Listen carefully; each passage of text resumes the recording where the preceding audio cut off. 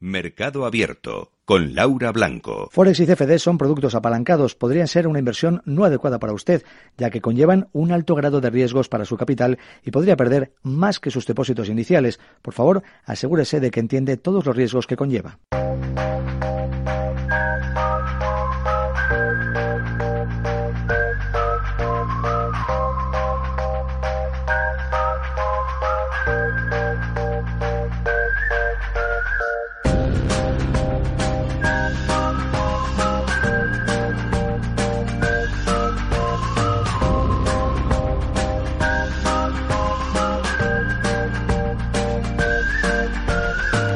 Un nuevo capítulo de DarwinX, de Movimiento Trader, que arrancamos con Juan Colón, cofundador de DarwinX. Eh, Juan, ¿qué tal estás?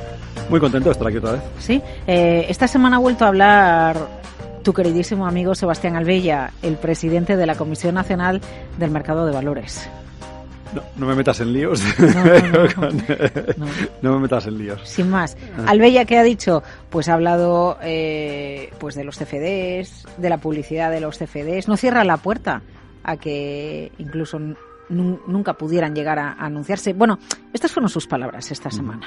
No lo sabemos, no lo sabemos. Vamos a ver cuál es la situación en Europa, porque podríamos acabar proponiendo simplemente pues una serie de restricciones ¿eh? o que no pudiera haber publicidad de sus productos sin una serie de advertencias muy claras. Eh, vamos a analizarlo, ¿eh? pero estamos estamos preocupados, estamos preocupados, porque bueno, pues porque son productos que, como decía, pues pues entrañan un- un- mucho riesgo de per se, que son difíciles de entender para, para buena parte de- del público inversor. Bueno, el CFD difícil de entender para buena parte del público inversor y yo hasta ahora les lanzo a ustedes una pregunta y les animo a que participen, a que nos llamen o a que nos escriban o que escriban a DarwinX para opinar. ¿Se pierde igual en el mercado eh, operando con CFDs que sin perder con CFDs? Porque sabemos, y eso también es verdad, que más de un 60% de quienes están en bolsa pierden en las operaciones. ¿Se pierde más con los CFDs que operando de manera tradicional en la bolsa? Llámenos si quieren y compartimos opiniones respecto al trading en el mercado. 912833333, oyentes arroba capitalradio.es, audio de WhatsApp 687050600 o en el podcast de este programa, si quieren dejar sus comentarios, pues para eso estamos. Juan, seis meses de ESMA ya, ¿eh? de la regulación de, de ESMA. ¿Esto lo dijo Al- Albella en su momento o lo ha dicho ahora? Esto Albella lo dijo esta semana. Madre mía. Esto a tem- Albella lo dijo esta semana. Me he hecho a temblar. Estamos en la semana, ah, para quien eh, luego escuche en diferido este podcast, en la semana del 25 de febrero de 2019. No, pues me está empezando a pasar con esto como cuando, no sé, cada vez que mi mujer me dice que ha leído un blog me echa a temblar porque algún alimento que me gusta ha desaparecido de mi dieta porque no es eh, bio o no es, o no es sano. Y cada vez que hablo del señor Albella eh, se avecina, bueno, se avecina algo que de consecuencias imprevisibles. Y- Pero, pe- pero por eso he lanzado la pregunta que he lanzado. No lo he hecho por, no, no, no, no lo he hecho a, a ciegas, ¿eh, Juan. Lo hago porque me consta que más del 60% de quien empieza a operar en bolsa, aunque no empiece en CFDs y empieza a operar en bolsa al contado con las acciones de toda la vida, pierde. El 70%, el eso- 60% de quienes están en bolsa pierden. y eso operando solo largo. Sí, sí, sí, sí. Si la operativa normal. si estoy hablando de la por operativa eso, normal. Si pusieran cortos y largos en bolsa, pues probablemente perderían más de lo que... ¿Por, por qué? Pues porque es como... mm, Vamos a ver, yo al final soy, soy parte interesada y, sé que, que las analogías que hago pues son un poco sui generis a veces, ¿no? Pero eh, yo cuando oigo estas cosas me parece es una derivada más del, del mundo bu- de buenismo hacia el que estamos yendo, en el que parece que, que queremos que las cosas malas no pasen, ¿no? Entonces esto es como cuando tienes un, un hijo de tres años y se monta en la bicicleta y se cae y se hace y se raspa las rodillas y dice, no, no, no, es que la bicicleta es muy, muy peligrosa porque se, se cae y se raspa las rodillas. Pero claro, es que una vez que na- nadie aprende... o sea, el- la- Este es el mundo del like de Facebook, que solo se puede poner. es un mundo completamente... Me gusta tu eh, foto y nada más. Me ¿no? parece, eh, Ya, ya. No, no sé, banal y paternalista en el sentido de que, de que si, si lo miras así, pues el, el señor Albella está hablando de- del inversor minorista como una especie de subespecie inferior que no tiene derecho a ser informada eh, prohibiendo la publicidad de que existe un producto financiero que puede comprar o no,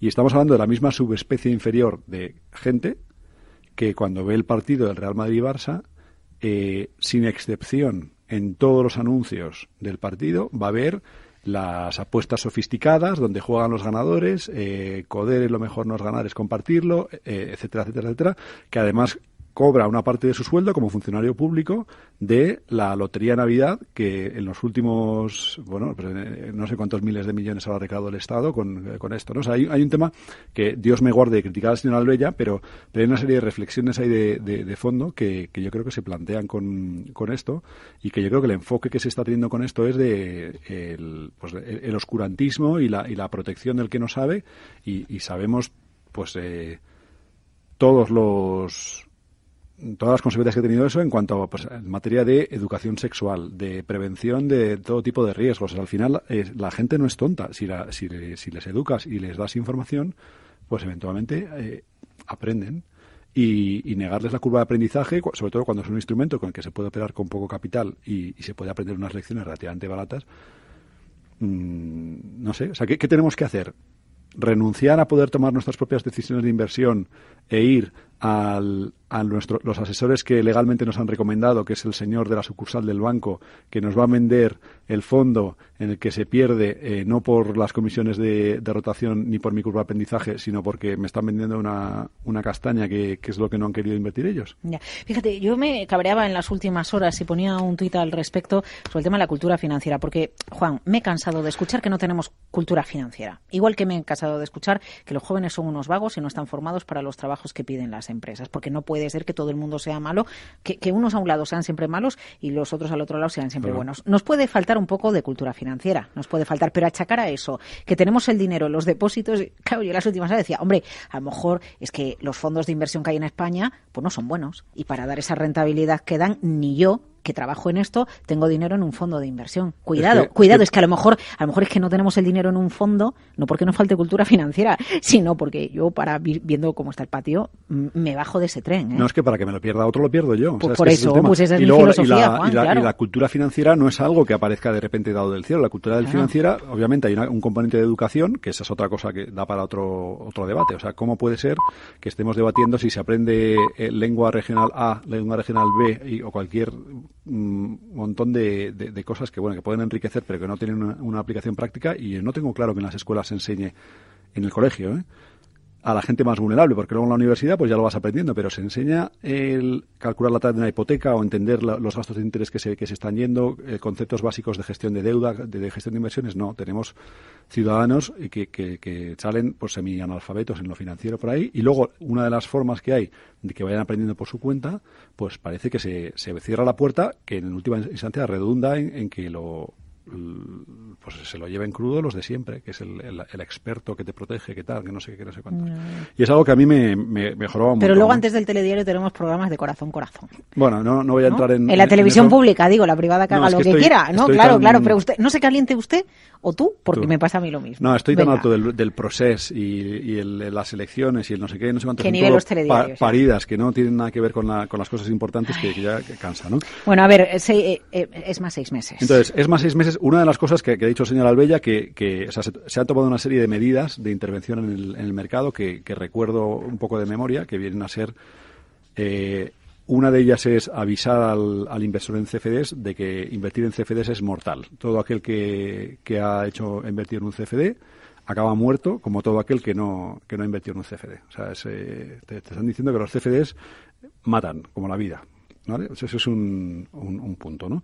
Y están hablando de que, que, se tiene que poner unas advertencias todavía más claras a cualquiera que se meta y esté con el móvil ahora mismo, que por favor se meta en la página de DarwinX, en la que, por ejemplo, se busca ZVQ de DarwinX, en la que está pues eh, uno de esos esas mierdas de CFDs que lleva ganado, eh, un, que, ha, multiplicado por 10 el capital en los últimos 10 años. ¿no? Y cuando se meta ahí, va a ver que la mitad de la pantalla del móvil pone un número monstruosamente grande que es que con este proveedor entre pues 67 eh, y 77% de los proveedores han perdido, tenga usted muchísimo cuidado porque vamos, este teléfono se autodestruirá en sus manos en 7, 6, 5, 4 y así sucesivamente, ¿no? Ese es un poco Entonces supongo que lo que quieren hacer ahora es que ya eh, en lugar de ocupar la mitad de la pantalla, ocupe la pantalla entera y el teléfono efectivamente se autodestruya en, en siete segundos para que ese pobre ese pobre Lelo pues aprenda que, el CFD es, mortal. Y es que ya estoy un poco harto de este tema, ¿no? Eh, y luego el otro tema es restringir la publicidad eh, de los CFDs, porque los CFDs son mortales, pero las apuestas y la Lotería Nacional y todo eso no, eso es eh, pan para el circo, para el pueblo, tal, que es mucho más recomendable que la gente aprenda perdiendo en, sus primeras inversiones que apostando a la, a la quiniela. O sea, ese es el, el, grado de... Bueno, pero es que perder porque tú ayer pensas es que el Madrid iba a clasificarse en la Copa del Rey no está mal visto. Bueno, es que socialmente es, es, lo que se es lo que se hace, ¿no? lo que se hace es el populacho al pan y circo y los expertos te generan el dinero, que es, te gestionan el dinero, que es el que se lo lleva el que se lo lleva crudo y es un tema que ya me empieza a, de nuevo, no creo que haya mala, mala voluntad, pero, pero es la conclusión lógica a lo que llevan todo este tipo de, medidas eh, oscurantistas de proteccionismo malentendido, porque al final lo que consiguen es lo contrario. Porque este proteccionismo, como tú lo calificas malentendido, al final, en seis meses, ha moderado las pérdidas. No, no, pero espera, ahora, entramos, ahora entramos ah, en esa parte, ¿no? Pero hay una parte que, que, que, nuestros reguladores todavía no, no han sido capaces de, de internalizar, y es que vivimos en un mundo global en el que todos estos productos se, se, se, mueven por, por Internet y si compras CFDs desde un broker eh, europeo en el que cuentas con todas las garantías del, regulador, entonces el teléfono se, se autodestruye en 7 segundos. Pero si lo compras desde un broker basado en las Islas Vírgenes Británicas, entonces todo es perfecto.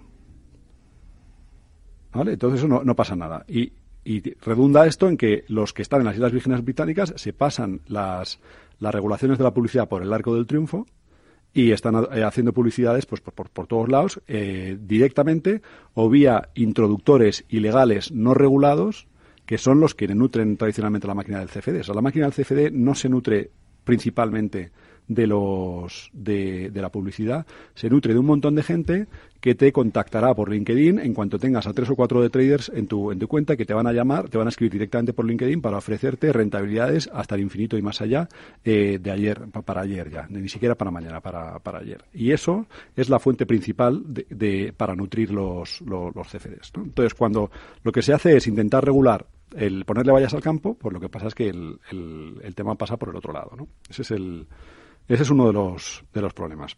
Vale.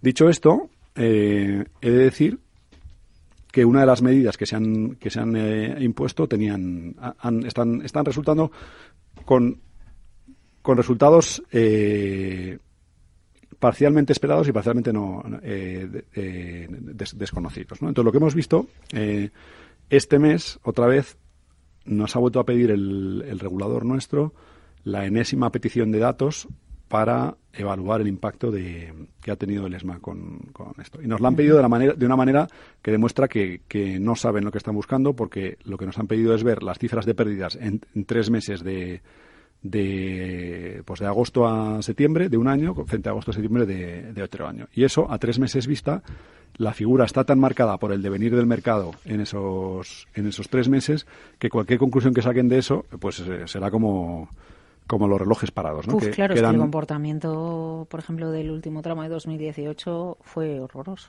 pues por eso. Entonces, eh, la, la, conclusión a la que llegarán es, pues no sé, será como los, los relojes parados, ¿no? que, que, aciertan la hora dos veces al día. O sea, ese es el, el, el tema. Entonces ya me, me, calenté, pues como puedes notar, estoy caliente con este tema, e hice un, un, un análisis que es lo que creo que sí que se tendría que hacer para analizar si está funcionando. Porque el número de ganadores o perdedores eh, en última instancia, ¿por qué pierde la gente? Conceptualmente. Por un lado están las comisiones, el peaje de, mercado que pagas por la, horquilla y las, comisiones que, te, cobre tu, operador. ¿no? La horquilla de mercado, en nuestro caso, que vamos directamente a mercado, más las comisiones de brokeraje que, pagas. Eso es un peaje de entrada que si pensamos en nuestro hipotético mono aleatorio, que le está dando al, al botón de comprar y vender aleatoriamente cada vez que le da un cacahuete, eh, ese mono perdería, por definición. Mm, pensamos que no sería ni mejor ni peor que aleatorio, pero eh, la ley de la gravedad de las comisiones es el que, el que le llevaría a, perder. Obviamente, cuanto más tiempo esté operando, mayor es el peso de las comisiones, de las pérdidas sistemáticas de las comisiones, frente al peso, más o menos aleatorio a corto plazo de si gana o si pierde el mono, porque puede ser que, durante un tiempo esté ganando pues, por, por pura chiripa, ¿no? Como, como bien saben muchos inversores en, en eh, martingalas, eh, etcétera. Ese es un punto. Y luego el otro punto, y ese es el que es más difícil de, de entender, es si ese mono Obviamente, si hablamos de la especie minorista-minorista, que es una subespecie muy similar al, al, homínido del que he hablado, entonces en ese caso ahí hemos acabado, porque es tan tonto que, pierde aleatoriamente. O sea, si, si, se pusiera a perder sistemáticamente, no lo conseguiría idea. O sea, tan difícil es ganar sistemáticamente como perder sistemáticamente. No, mm, si, si, consigues perder siempre, pues lo que haces es ponerte del, del, otro lado, ¿no? Haciendo abstracción, como, como he dicho, del, del, eh, de la horquilla de mercado y de las, y de las comisiones. Entonces, el análisis que hemos hecho, que, es bastante interesante y que quiero compartir algunas de las conclusiones, ha sido coger, bueno, eh, hacer un análisis en lugar de toda la masa de clientes, porque hay demasiada mezcla, eh, analizando todos aquellos clientes que empezaron a operar con nosotros en agosto de 2017, cómo se han ido comportando esa cohorte de clientes, como que es el término, eh, durante los seis meses posteriores bueno, en este caso un año antes de que entrase el ESMA, porque esos no sabían que no, operaban con restricciones al apalancamiento, y luego hicimos el análisis eh, para otros, la, cohorte de los que han empezado con nosotros en agosto de 2018. Obviamente hay una parte que, que se filtra, normalizando resultados, porque desde entonces hasta ahora hemos crecido bastante nosotros, la empresa va, va creciendo mucho, y, y, entonces hemos hecho un seguimiento de eh, cuánto operaban, o sea, cuántas comisiones nos dejaban a nosotros mes a mes, y en el acumulado de los, de los seis meses. Obviamente esto lo hemos hecho para los de agosto y luego también lo mismo para los de septiembre, los de octubre, los de noviembre y tal. Es más complicado según se va acercando uno a, febrero de ahora mismo porque solo tenemos los datos para los de diciembre, solo tenemos dos meses, ¿no? mientras que para, para los de hace un año tenemos seis meses. Pero hemos analizado eso, cuánto dinero depositan, en primera instancia y cuánto vuelven a redepositar. O sea, yo me abro una cuenta hoy, en agosto, y luego posiblemente en, noviembre, si me ha gustado, pues o a lo mejor he perdido y vuelvo a poner más dinero, o, estoy cogiendo más confianza y me animo a meter más dinero, que es una cosa que nos pasa mucho también porque muchos clientes nos prueban con muy poco dinero y para ver si funciona todo bien. A veces incluso meten el dinero lo sacan para saber si, si honramos las, las retiradas y no, y no pues tenemos a gente llamando para impedirlas de forma encubierta y tal. O sea que es muy normal. Eso se hace habitualmente. ¿El qué? Llamar para, de manera encubierta, evitar que haya retiradas. Yo lo, que se hace habitualmente no lo sé porque no he sido trader y no lo he sufrido en mis, en mis canales. Yo lo que le puedo decir es que nosotros en la oficina no tenemos teléfono. Vale. O sea, con eso lo he, lo, he dicho todo. Podemos recibir teléfono, pero no hay nadie que, llame. A, solo se llama cuando hay un cliente que pensamos que es más sencillo resolverlo porque nos lo ha pedido él, ¿no? Pero en otros sitios eh, lo que hay y de nuevo fuera de Europa lo que hay es call centers dedicados a, la ciencia de, esto entre otras cosas pues se buscan el artículo 33 para no poder recuperar el, dinero no que es lo que no, no, quiere la casa no entonces depósitos retiradas cuántas comisiones han ido generando y eh, cuánto han ido ganando o perdiendo todos los, los clientes a lo largo del, del periodo. Entonces las conclusiones más interesantes de todo esto han sido que con la restricción de apalancamiento del ESMA, más o menos los clientes rotan la mitad. De media, ¿eh? de, media la base. Estoy hablando de nuestros clientes estrellas, no estoy hablando de los clientes que invierten en Darwin. Eh, de media, los, los, clientes operan la, la mitad. eh, como consecuencia de eso, de media, los clientes, y esto, estamos hablando dentro del error estadístico, ¿no? Es muy difícil sacar conclusiones más allá de, del ojo de buen cubero. Pero de media, los clientes pierden incluso menos de la mitad. O sea que se ha reducido el porcentaje de pérdidas y de nuevo aquí puede haber un impacto de diferentes meses en el mercado y no lo sabemos. Pero las, las comisiones han bajado a la mitad, pero las pérdidas han bajado a menos de la, de la mitad. Y la propensión a volver a depositar se ha mantenido o incluso aumentado. Entonces esto es bueno. Entonces, eh, tiene un impacto a corto plazo y un impacto, un impacto a largo plazo. O sea, hay un elemento malo y es que esto solo se ha aplicado para los bloques europeos. Entonces, también lo que sé es que los, hay competidores australianos nuestros. En Australia no se ha implantado esta, esta regulación y, se están forrando. ¿Por qué? Porque un montón de gente se está yendo para, allá. Luego hay una industria paralela de creación de entidades offshore en, Vanuatu, en las eh, Islas Vírgenes Británicas, esto lo digo por si el señor Albella quiere mirar esto también, porque, porque claro, esto, esto hace pupa, ¿no? O sea, Vanuatu, las Islas Vírgenes Británicas, Caimán, etcétera, las Seychelles, etcétera, etcétera, etcétera, eh, de empresas europeas que han establecido sucursales o, entidades offshore ahí para derivar a clientes, incluso tanto europeos como no europeos, a esto. O sea, esto lo que ha derivado es que, que se vaya dinero también de, de clientes europeos y de clientes no europeos que venía a Europa. Bueno, esto eh, no, es igual, ¿no? Pero es como cuando se implementa o se quiere imponer en España la tasa sobre transacciones financieras, se nos dice el dinero se va a otro lado, a donde no hay impuesto a las transacciones en este, financieras. En este caso, las tasas financieras son una bendición porque el dinero de quien tenga los dedos de frente será los CFDs, porque los CFDs, en tanto en cuanto son equiparables legalmente a una, a una apuesta, no, son, no existe un hecho grabable y por lo tanto no existe tasa Tobin. O sea, esa es de, de, de bueno, muestra la, calidad del, legislador que, tenemos. La tasa Tobin esa es fácil. O sea, señores, si alguno no lo sabía todavía y tiene miedo a la tasa Tobin, ahora se usted una cuenta de CFDs y adiós tasa Tobin. es así que la, es así que es fácil porque si tienen que, grabar los CFDs tendrán que grabar también la lotería. No digo los premios de la lotería, estoy hablando del hecho de que habrá, tendrá que haber un impuesto sobre la compra de la lotería para, para ser equivalente a los CFDs. Y eso, vamos, dudo bastante de que lo hagan, porque se lleva por delante la lotería y las quinielas. Eh, lo que pasa es que, a ver, Juan, me queda una duda. Es verdad que hay parte de traders que se van a operar a brokers que no están trabajando bajo la regulación europea, pero quien está trabajando bajo la regulación europea ha, reducido sus pérdidas. Entonces, entramos. Esto es, esto esta, parte la, quería decir porque si lo que queremos hacer es eh, eh, trasladar los efectos buenos a todos, o sea, que se pongan medidas para impedir a brokers mm, de que estén operando fuera del régimen eh, impuesto a sobre todos los ciudadanos europeos, ese es un punto, y el otro es que, por favor, por favor, coordinen con otras eh, eh, geografías y jurisdicciones, porque porque si, si se hace esto, lo que al final, el, si un español se va a Australia, pues al final perdió lo mismo, y además no tienen las garantías que tiene aquí que le asisten con, con MIFID, no tiene el fondo de garantías de depósitos, hay una serie de garantías que están ahí que se están infrautilizando. ¿no? Pero la parte buena de todo esto, y volviendo al tema que me decías, es que parece que la, la tasa de, de, pérdidas ha pasado más o menos a la mitad. Y como mm. consecuencia, y lo que no se ha producido es un efecto que es el que me da miedo a mí, o por lo menos no hasta ahora, de aburrimiento. ¿no? O sea, a lo mejor puede ser que la gente abandonase porque se quedaba sin dinero y ahora le está durando muchísimo más el dinero. O sea, la tasa de, de, perdedores pues ha bajado. ¿Por qué? Porque la, la ley de la, de la gravedad es menos fuerte, rota menos veces, pierde menos veces la, la parte de las comisiones. Y está por ver, y esa es la otra que es que yo creo que necesita más tiempo y un análisis más, más detallado, si, si había un componente adicional de sesgo psicológico que hacía perder a la gente por el hecho de tener la versión a la pérdida, que hemos hablado muchas veces, si ese efecto estaba, en qué medida ahora está mucho menos y por lo tanto las pérdidas de estos clientes son mucho menos eh, sistemáticas, más allá de la, de la rotación o del, del, coste del coste transaccional.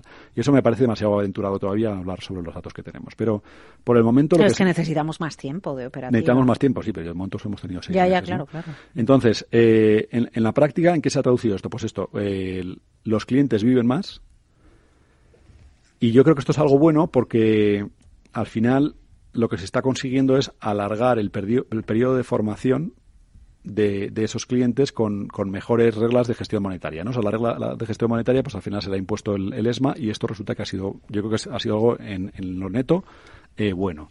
Desde nuestro, nuestro punto de vista estamos muy contentos con esto. O sea, estaríamos muy, muy contentos si no fuese por el componente este de, de las eh, los anuncios publicitarios y esto que es algo que, más o menos pues eh, al final no, no, pinta nada. Y sobre todo la competencia desleal que eso es un, tema mucho más eh, reprobable y sobre todo al regulador porque está porque está desnivelando el mercado no pero este el punto de base de, de reducir el apalancamiento ha sido algo ha sido algo netamente bueno en mi opinión desde nuestro punto de vista pensamos que es algo muy bueno. ¿Por qué? Porque eh, lo que estamos consiguiendo, hay un impacto muy fuerte en, en ingresos de un día para otro. O sea, yo no sé otros bloques cómo han estado, pero nuestra facturación ha caído pues más o menos en proporción a, al, esto, a la, mitad por el lado del brokeraje. Eh, menos mal que teníamos la parte de, la, de los inversores. Eh, pero esto es de un día para otro, ¿no? Lo que pasa es que del 31 de julio de 2018, de 2018 al 1 de agosto de 2018 los clientes pasaron a operar más o menos la mitad. Entonces, con la misma masa de clientes generábamos por la mitad de, ingresos, Pero, y esto es lo bueno, los clientes viven más tiempo, con lo cual, a igualdad de depósitos, eh, nuestros clientes, pues, atendemos mayor número de clientes y mayor eh, cantidad de fondos de, de, clientes, lo cual nos permitirá recuperar, si no todo, por lo menos una gran parte de la facturación. Y, y sobre todo, y esto es lo bueno para nosotros, eh, cuanto más tiempo está un cliente en mercado, mayor probabilidad hay de que se informe de quién es un broker mejor, de que recomiende un broker mejor, de que bueno, pues recomiende un broker en el que puedes cobrar en lugar de pagar y de que vea ejemplos de buenas prácticas de, clientes que están ganando y cobrando ya mucho dinero por, gestionar bien. ¿no? Y en el momento en que se produce eso, nosotros tenemos todas las de ganar digo como, como broker que nos han por, por vuestra filosofía por nuestra filosofía y, tal no entonces yo creo que esto para nosotros es algo muy bueno eh, porque la otra ventaja que tiene es que en la medida en que los clientes rotan la mitad, todo esa, ese margen que se produce a corto plazo de volver a reinvertir en publicidad, además con estas restricciones que, hay, a nosotros las restricciones de publicidad nos dan igual porque no hacemos prácticamente, ¿no?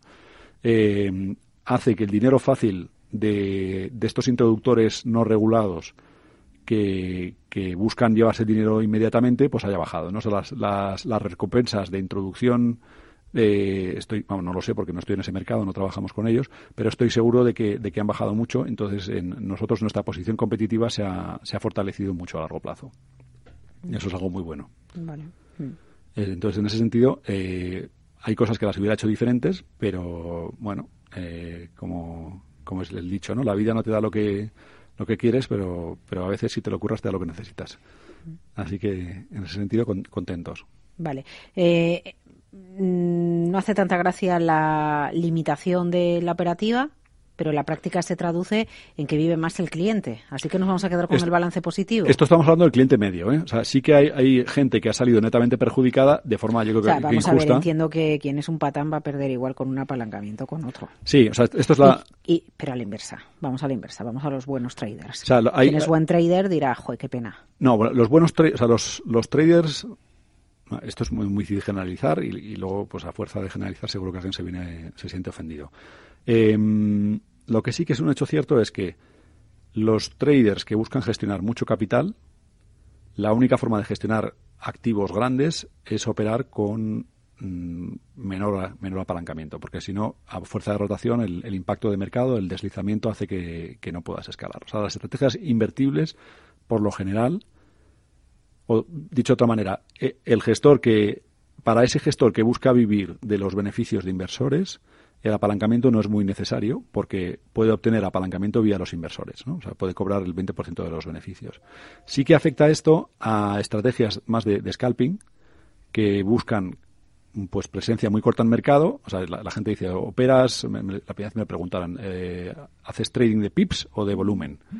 Eh, y esta no la, no la había entendido hasta que dije, no puedes operar de dos maneras. O operas, buscas movimientos de 100 pipos que no necesitas apalancamiento, o buscas movimientos de 5 pipos que necesitas un montón de, apalancamiento. ¿no? Entonces, a estos que buscan los movimientos de 5 pipos, les ha supuesto, pues supongo que una restricción importante en, en, su, en su operativa. Pero me queda la duda de cuántos eh, cuánta gente experta que opera con cinco pipos y mucho apalancamiento no ha llegado a cumplir los criterios de profesional, con lo cual queda, queda exento hmm. de, esto. ¿no? Entonces yo creo que las...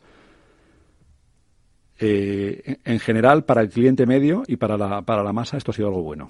Esto sí que ha sido algo, bueno. Si no fuese, porque existen posibilidades de saltarse esto a la torera eh, viniendo desde brokers, brokers offshore, que esa es la parte que, creo que tienen que trabajar. O sea, en lugar de, de ponerse con la... Aquí cualquiera puede irse a un broker offshore. ¿Yo puedo irme? Todo el mundo es libre de perder su dinero como, como quiera, salvo que sean CFDs, como hemos visto, que, no le dejan perder con demasiado apalancamiento. Pero, vamos, si quieres mandar el esto, te, te metes en chungobroker.com ahora mismo, te ofrecen tu tarjeta de crédito y allá que va tu dinero. Y como no vuelve nunca. O sea, hay, hay un competidor eh, nuestro de estos que opera con mucho apalancamiento que les, les metieron un, un paquete de por por tema de blanqueo de capitales, porque solo te preguntaban la fuente de ingresos cuando pedías retirar. O sea que podías meter un mil millones de euros diciendo que eras Mickey Mouse y solo se iban a mirar si eras efectivamente Mickey Mouse o Mini cuando pidieras recuperar los, eh, los 200 millones que te quedasen después de reventar los 800 millones. ¿no? Ese es el, ese es el espíritu imperante en la, en la industria. Y en ese sentido, pues desde nuestro punto de vista tenemos muy claro que tenemos que salir de aquí de estar solo como los CFDs, porque si bien pienso que es un instrumento muy bueno para, para iniciarse, eh, como bien nos dice mucha gente, tenemos que ir hacia los futuros lo antes posible, y, de hecho en eso, en eso estamos trabajando. Eh, estabas comentando antes al principio y decías, bueno, porque la gente pierde, ¿no? Y decías, bueno, la, horquilla y las comisiones es un peaje, ¿no? Que hay que pagar de entrada. Lo que pasa es que las comisiones precisamente y en la horquilla es donde también se va buena parte de la publicidad, ¿eh? Bueno, claro, es que está relacionado. O sea, es el, problema de todo esto es no entender, de ahí la propuesta original, ¿no? Una vez que, se quita el incentivo a, internalizar eh, con todas las pérdidas de los clientes, pues, pues desaparece también el presupuesto de publicidad. Pero esa parte de, la elección creo que el regulador no estaba cuando la dieron. No, pero digo, eh, horquillas estrechas, sin comisiones. No, pero si es que la horquilla, eh, si el cliente va a perder sistemáticamente, te da, te da igual. Y, luego cuando operas con mucho apalancamiento, eh, si operas, es que lo hemos dicho muchas veces, si tú eres una estrategia que gana el 80% de las veces y te juegas el 1% de tu capital en cada apuesta, a largo plazo ganas. Si tienes la misma estrategia y te juegas el 100% del capital en cada apuesta, es que es garantizado que vas a perder. Igual que cuando se negocia una reforma laboral, el gobierno se reúne, en principio, con los agentes sociales, con este tipo de medidas, ¿qué, consultas os hacen a vosotros, a los brokers? A nosotros nada, porque somos un cero a la izquierda a nivel de, de, tamaño. A mí nunca me ha venido a preguntar nadie nada. Pero sí que sé que hubo un grupo en el que se reunían con los, con los grandes. Con los brokers grandes. Sí, nosotros ya somos medianos, ¿no? hemos pasado de cagarruta a cagadita, pero, pero, pero eh, no, no tenemos entidad suficiente como para, aparentemente, para contribuir en esto. Ya bueno, eso lo dicen a veces asociaciones de autónomos que no están en todas las negociaciones del gobierno porque son pequeñitas y solo van las grandes, por ejemplo. ¿no? Sí, algo de eso debe haber. Ya. O sea que... Pero bueno, en cualquier caso yo creo que con la salvedad esta de, la posible fuga de capitales, bueno, la posible no, la más que cierta fuga de capitales hacia, hacia países terceros, el tema del apalancamiento estaba bien y no hay ninguna necesidad de que el teléfono se autodestruya por entrar en la, en la página de, de DarwinX, porque al final el que va, o sea, si le has dicho 37 veces que ¿sabes? Va, va porque quiere. Pero ¿tendría sentido que algún día el CFD se prohíba en publicidad igual que se ha prohibido el tabaco? porque sí que tenemos otros sectores que en su día cuando se prohibieron pues todos nos quedamos en estado de shock, ¿no? Sobre todo los que ya tenemos más edad y recordamos cuando se podía publicitar el tabaco y cuando dejó de publicitarse al margen de... luego, por ejemplo, el alcohol tiene unos matices, ¿no? Para que, para que se pueda anunciar. Pero es que yo de las palabras de Albella, ¿no? Cuando las escuché, no sé si fue el lunes o el martes pasado, pensé, joder, como el tabaco, ¿no? Va a haber un día en el que directamente ya iremos a eso, a que no se pueda publicitar. Que sí, Laura, pero yo, o sea, yo no soy fumador, no he fumado nunca y mi hermano sí que es fumador, mi, hermano pues las, las ansiedades del, del, emprendimiento las, las liquidaba de cigarrillos y, y el paquete de tabaco que vi el otro día pues era una foto ahí de, no sé, hmm, una laringe eh, ennegrecida, de podrida, de alguien a punto de morir y, pone fumar, mata, tal, no sé qué. Y luego miras las tasas de fumadores de entre niños de adolescentes de 16 años y estamos en máximos de, de, muchos años.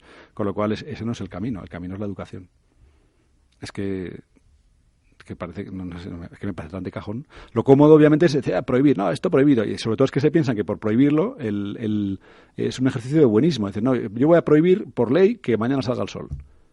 Sí, vale, pero el sol va a salir mañana igual. Y la gente va a intentar. O sea, hay muchos incentivos ahí potentes para, para fomentar el tabaco. Para, el, primero, el recaudador, la, la, hacienda española. O sea, imagínate el agujero que le hace a, la hacienda española si la gente deja de pagar cuatro, cuatro euros de, impuestos por, por cajetilla de tabaco, que supongo que es lo que están pagando. Más o menos, sí. O sea, que ahí hay temas que, que hay intereses, eh, cuanto menos en conflicto, sino directamente contrapuestos. Ya, pero nadie, no, no es que me quiera poner ¿eh? de tu lado, ni de otro, ni en contra de nadie, ¿eh? pero cuando alguien a lo mejor está participando en un fondo de inversión y hay alguna posición del fondo que pierde un 20%, no.